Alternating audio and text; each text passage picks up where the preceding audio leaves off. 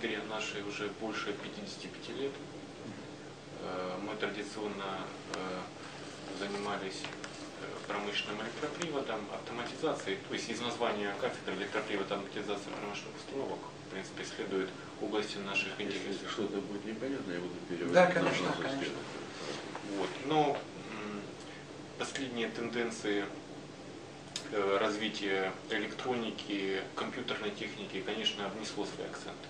То есть мы, кроме э, традиционного промышленного электропривода, конечно же, э, тут и большой вклад Владимира Филипповича, занимаемся и робототехникой, и э, управлением там, шаговыми двигателями, Мгм. и э, интеллектуальное управление зданием э, сервоприводами. То есть область интересов совершенно э, разнообразная, широкая и охватывает, ну, наверное, практически все сферы э, автоматизации, потому что электро- промышленности. да, электропривод без автоматизации не, не существует, и автоматизация без электропривода не существует.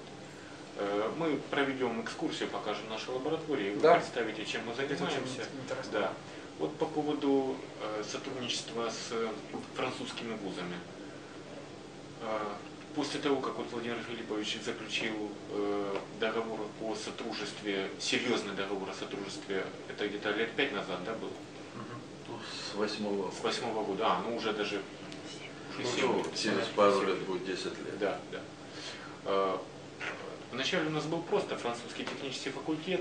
Э, Ребята изучали язык, но э, выхода такого качественного на тот уровень э, Резкого да, такого не было. Да, А вот лексика. лет, да, а лет 7 назад, вот благодаря усилиям Владимира Филипповича, мы э, заключили договор о сотрудничестве с двумя вузами, э, появился э, активный профессор, который начал регулярно приезжать из Франции Здесь? сюда, к нам.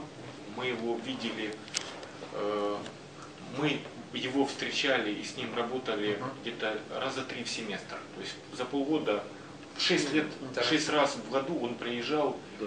В общей сложности это полтора-два месяца, наверное, он проводил, особенно вот Не- первые. Не меньше, Да. да, не меньше, да. Это какой университет во Франции? Это Он был- представлял университет сначала Версаля, а потом Серджи Пунтуаз. А, понятно. Эти два. Сейчас он перешел в университет Нанси. Нанси. Да. И благодаря, конечно, вот активной работе и Патрика Инафа, Владимира Филипповича и его аспирантов, э, у нас э, довольно-таки плодотворная работа сложилась.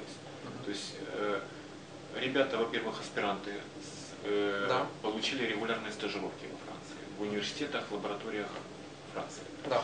Наши ребята-магистры начали регулярные стажировки проходить именно по магистрским программам. И защита, и защита работ магистрских во Франции. с И предо- сейчас это С еще. предоставлением диплома, да. Это возможно сейчас? Да, сейчас последние поехали. Закончился срок три года. Да, то есть у нас э, С была 12 про- по 15 программа магистр э, работала в 2012 году вот была заключена, ну этот договор по сотрудничеству Мгм. на три года. Вот сейчас он ну, заканчивается. Заканчивается. Да. Э, Последние ребята поехали. В результате вот каждый год у нас несколько человек защищали магистрские работы э, там во Франции. Здесь мы транслировали онлайн эти защиты, то есть они одновременно и здесь, и там. Да. Э, Наши коллеги участвовали в работе комиссии э, по защите и, соответственно, Там, там, во французские коллеги. да. То есть мы будем в лаборатории 105, Мгм. и там Мгм. В Покажем. прямом да. режиме, да, сюда дошла работа. И- Дальше два аспиранта Владимира Филипповича, аспиранта, то есть защитили Ну, докторанты, именно у док- них да, да, докторанты, да. Да. защитили диссертации. Э, Один в Версале, Хоменко, второй в университете Сержи Понтуаз. Мгм.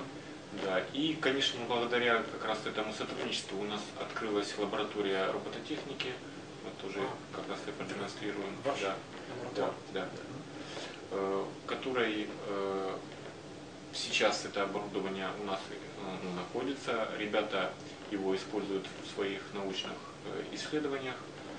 Э, Жизнь продолжается, все Ребята, ну сейчас вот когда мы спустимся, увидите, они ходят на занятия, работают. Даже, ну вот эта научно-исследовательская работа Мы стараемся, чтобы уже с третьего курса ребята в нее были вовлечены. Э, Ну, конечно, мы видим по уровню, они еще, может быть, не всегда готовы с третьего курса, поэтому четвертый, пятый, Четвертый, то есть вот так, чтобы к магистратуре они могли самостоятельно начинать свои уже исследования.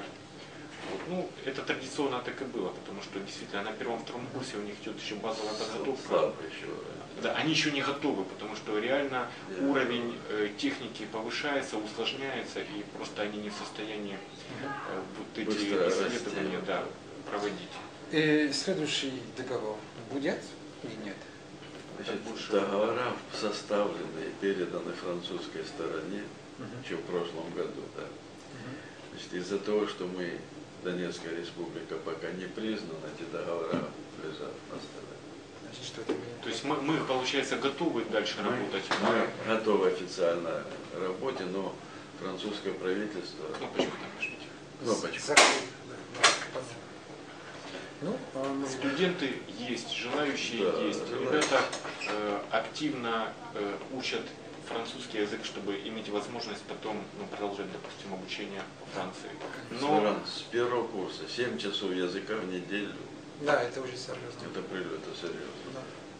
Ну, вот тут эти трудности, о которых уже сказал Владимир Филиппович, связанные с легализацией нашего государства, псевдогосударства, не знаю, как это еще назвать, то есть, ну, непризнанности. этой, Значит, да, мы оно- не можем сформулировать, кто мы, и наши Не, мы Донецкий национальный не технический Да, университет. мы как единица Да. учебная, мы остаемся, да? Мгм.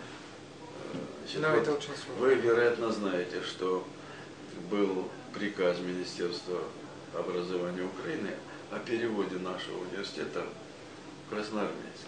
Да. Значит, туда уехала часть преподавателей, Мгм. часть осталась. Но то, что касается наших студентов, большая часть осталась здесь Да. и отказалась. Почему вы решили вы продолжать здесь? Почему продолжать? Да, Мы родились здесь, живем здесь, и мы патриоты. да, я уже знаю ответ, но... Да. Не, ну потому что э, если вот относиться именно к работе качественно, что э, можно, наверное, экономистов можно обучать в любом, в любом везде. здании, да? Если есть э, Компьютер, парты, интернет, компьютер, да, интернет. Экономиста а можно технические родить. специальности, вот когда лаборатории, как можно без лаборатории вообще готовить Конечно. технических специалистов? Невозможно это, работать. это невозможно.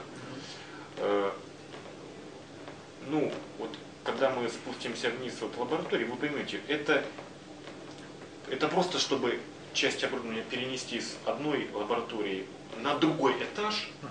это займет, наверное, несколько дней, Да, А настройка еще а наладка, 2-3 да. Введение в эксплуатацию. А перевод в другой город и на, да, да, да. на площади, не соответствующей тому оборудованию, которое у нас есть, это вообще... Просто захлопывайте и все. Оно.